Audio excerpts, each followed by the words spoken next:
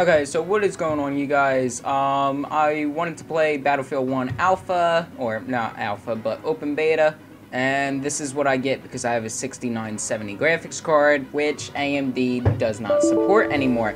So it says that I needed version 16.20.1025.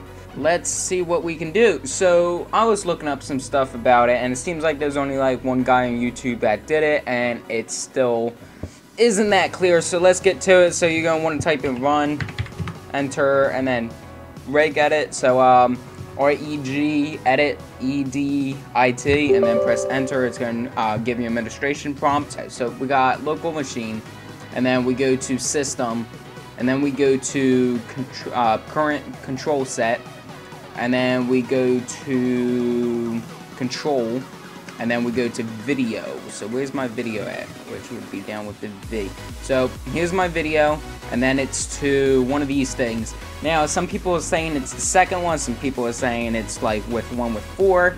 Um, they're all kind of broken, so um, I'm just going to try 000 under my second one. If that doesn't work, then I guess we can reverse this one back to normal, and then try this one. If that doesn't work, then I guess we can try that one. If that one doesn't work, then we can try that one. If that one doesn't work, then we can start with that one.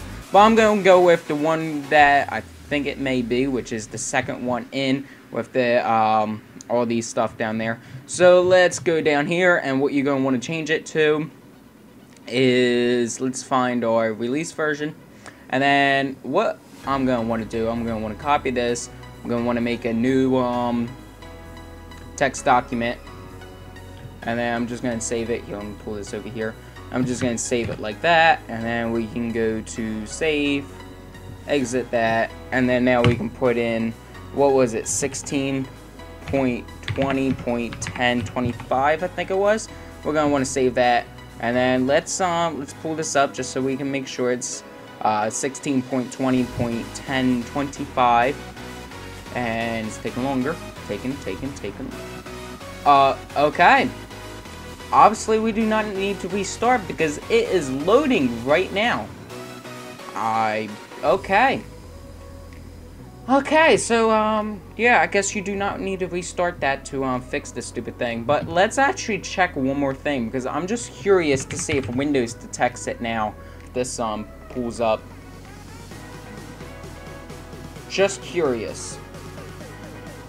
That, that, that, okay. Mm-hmm. Uh-huh. Uh-huh. Uh, huh. makes perfect sense, you know? Makes perfect sense that Windows does not detect it, but the game obviously detects it. I don't know. Don't ask me how that works. This is pretty loud. Alright, so there you guys have it. I just did it live. I did not think that was going to work because I was expecting to reboot it. Um, yeah, this was a one-take video that I decided to do. If you like this little trick to get your Battlefield 1 beta to work, um, then like the video, subscribe if you want to see more videos like this, and I will see you guys later.